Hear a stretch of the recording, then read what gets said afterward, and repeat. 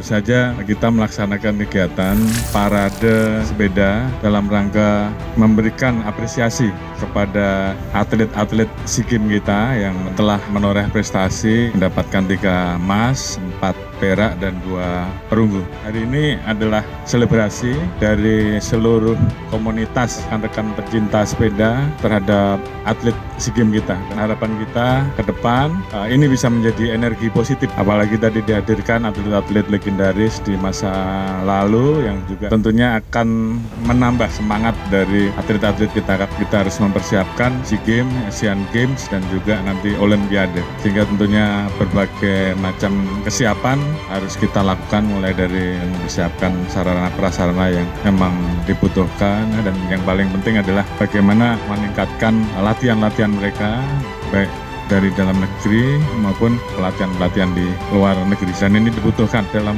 meningkatkan kemampuan kemudian mental, teknik dalam menghadapi event-event kelas dunia. Dan harapan kita tadi kita sampaikan bahwa di samping kita mengejar prestasi, tentunya budaya bersepeda terus bisa kita kembangkan. Terima kasih atas support dari seluruh pecinta olahraga khususnya sepeda dan seluruh masyarakat.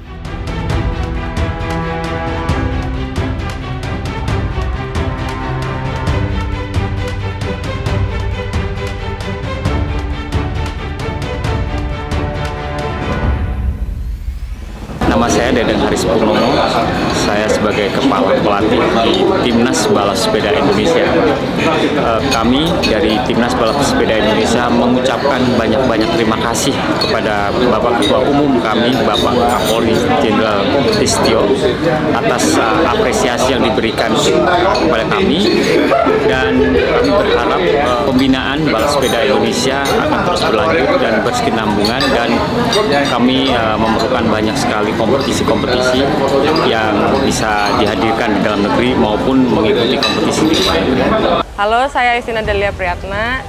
Saya peraih medali emas dan perunggu di nomor road race. Saya ingin mengucapkan terima kasih sebanyak-banyaknya kepada Bapak Ketua Umum PBIC, Bapak Kapolri untuk perhatian dan semua supportnya serta doanya sehingga saya bisa alhamdulillah mendapatkan hasil yang terbaik untuk SEA kemarin uh, harapannya ke depannya semoga saya bisa terus memberi uh, prestasi dan ke depannya bisa eh, berangkat-berangkat uh, lomba di luar negeri. Saya Aiman Cahyadi, atlet balap sepeda Indonesia. Terima kasih banyak kepada Bapak Kapolri, Ketua Umum Indonesian Cycling Federation. Terima kasih telah menjadi support dan memberikan support yang terbaik untuk atlet-atlet Indonesia. Mudah-mudahan bisa terus dan kontinu mudah-mudahan pembinaan dari setiap atlet ini bisa terus diteruskan dan juga menjadi lebih baik lagi untuk prestasi balap sepeda Indonesia. Indonesia Jaya. Kapolri